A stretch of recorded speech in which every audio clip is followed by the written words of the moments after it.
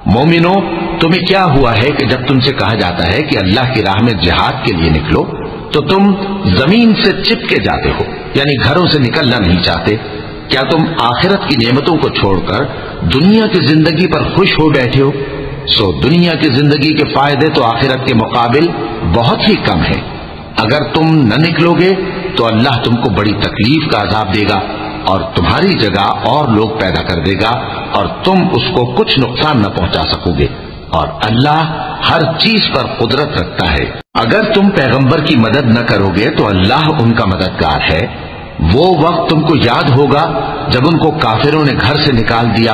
उस वक्त दो ही शख्स थे, जिनमें एक अबू बकर रज़ी अल्लाह तु थे, दूसरे हमारे पैगंबर सल्लल्लाहु अलैहि वसल्लम।